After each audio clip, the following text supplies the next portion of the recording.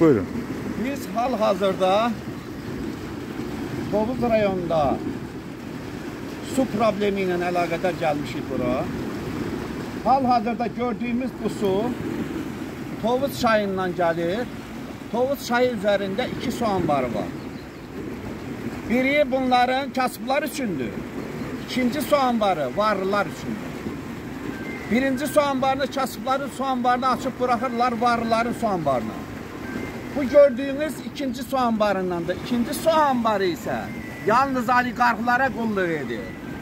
Yalnız keçmiş icra hakimlərinə, bəylaxır, bəylaxır, bəylaxır məmurlara qulluq edir. Hansı ki bu və digər yollarla minlərlə hektar, minlərlə hektar torpaq sahəsini kasıbların əlindən bu və digər yollarla alıblar və hal-hazırda bu su onların əkin sahələrinə gedir. Hansı ki 10 min hektarla torpaq sahələrini zəbt edib, taxıl əkiblər, kartof əkiblər və ilə.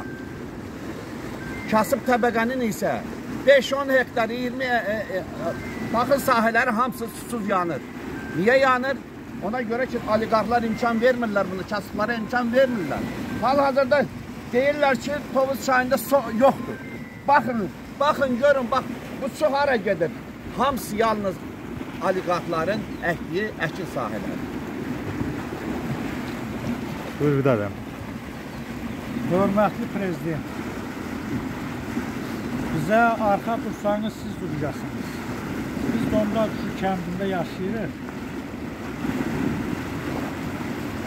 Uzun tarixli kənddir, köhnə kənddir. O kənddən əgər ta əkinlə, biçimlə, həyətyanı təsərrüfatla nəyimiz varsa, bu suyu belə atırlar bizim oğlan ağacımız, təsərrüfatımız bir sözlə bizə su yoxdur. Biz səhra halına düşmüşük. Neçə illərin suvarılan yerində indi su tapmaq bir möcüzədir. Nə bu sudan bizə də vermirlər, nə artsan qazmırlar. Ümumiyyətcə biz aşağı kənd səviyyəsində yaşayan insanlara bir variant yaradılar ki, o kənddən biz köçək. Biz hara köçək? Kimə sığınaq? Kimə dərdimizi deyək? Yəni sizlər bizlərə 5000-dən yuxarı əhalisi olan bir kəndə kömək eləyin, xahiş eləyin.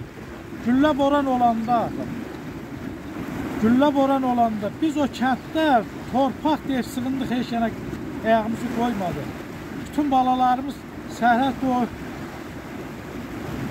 bizləri qoruyur.